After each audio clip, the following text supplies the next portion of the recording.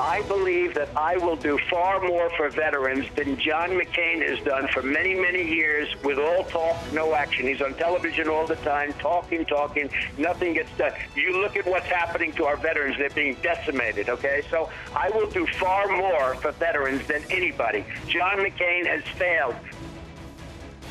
Some of Donald Trump's comments causing that new uproar. Let's bring in the roundtable. Weekly Standard editor Bill Kristol, ESPN's LZ Granderson, former Michigan Governor Jennifer Granholm, who's the co chair of Super PAC Priorities USA and a Hillary Clinton supporter, and ABC's chief White House correspondent John Karl. And a special welcome to LZ and Governor Granholm here for the first time as ABC News contributors.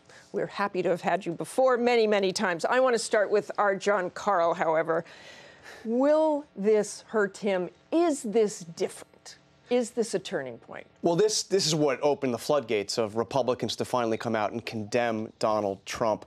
But look, he's uh, content to lead in the polls with 15, 17 percent. And I'll tell you, uh, Martha, there are two candidates that Trump unequivocally helps in this race. One now, the other in the future. The first is Jeb Bush, because he becomes the vessel for all of the anti Bush anger in the party, and it's in somebody who is clearly unelectable, will not get the nomination. And the second is Hillary Clinton. You heard him again yesterday say that he will not rule out running as a third party candidate. If that happens, he guarantees Hillary Clinton victory. And, and Bill Kristol, I think it was just yesterday you did a brief interview with ABC News calling him older, wiser, richer, Don, richer Donald Trump would be better than Hillary. Still think that?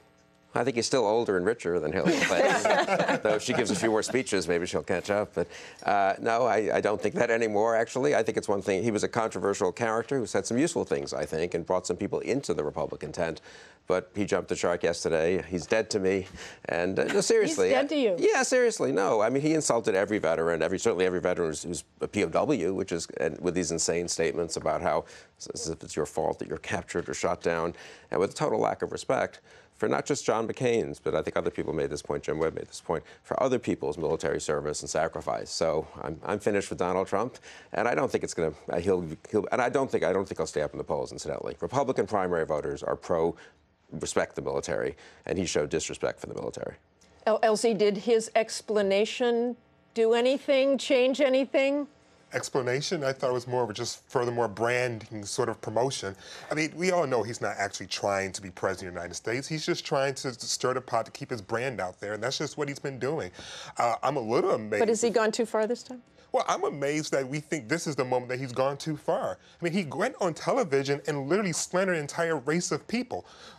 Why wasn't that the shark that got jumped? Why did it take the attack of John McCain to get people to get so upset that Republicans start tweeting and denouncing when he went there and said, well, I like some of the Mexicans, but the rest of them are a bunch of rapists and criminals? I mean, that to me was a shark jumping moment. And, and Governor, the Democrats do what? Just sit back and let this play out? Well, I was going to say before yesterday that, you know, just put up your feet and break out the popcorn. But I do think that he really went too far. And I agree with LZ that he had gone too far already. And that this really, I think, um, is a, a, signal of this sort of sinister um, thread that runs through a lot of the far right and Tea Party. This, this feeling like those who are different are not one of us, that it's frightening for many in the sort of old, uh, older white Americans who might be following him and who are angry, who may feel threatened by this uh, Im- by immigrants.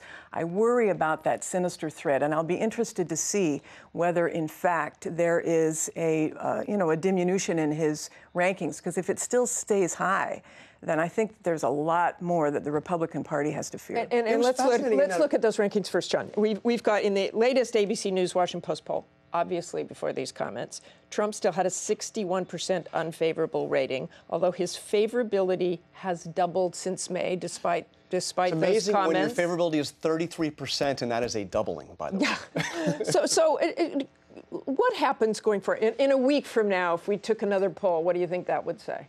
Well, I, I still think there is a portion of that electorate that is extremely angry. I, I, don't doubt that it will go down a degree on this, but look what happened in the room when he made those comments One thing he was right about in the interview you just did with him is he did get a standing ovation, and he was enthusiastically applauded minutes after saying what he said about John McCain in that room. Now, by the way, the other thing he said is he was asked, uh, "Can you tell us? Do you ever ask God for forgiveness?" This was a this was a conservative. That was controversial, right? Yeah. That in, in that room was. And he couldn't come up with a. With, well, I don't really know. I kind of leave God out of that. I think he kind of misunderstands evangelicalism.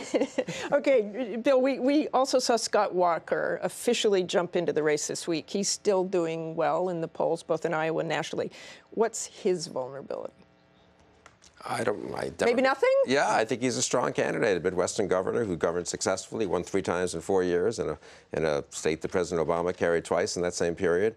And um, I think the Trump vote will go away. I don't buy the argument that there are a huge number of. Un- Jennifer wants to make it seem like this huge chunk of the Republican Party is Oh, Jennifer. say vitriolic. I just think that there is. It was the there is a Democrats yesterday who hooted at a huge left-wing convention, who hooted Bernie Sanders and O'Malley, Governor O'Malley, off the stage for not being left-wing enough. Governor O'Malley said, "Black lives matter, white lives matter, all lives matter." Unacceptable in the Democratic Party.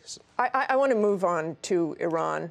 Since I just got back from Iran, it's, it's particularly interesting to me. LZ, you tweeted this week questioning Republicans like Senator Tom Cotton, who are criticizing the deal.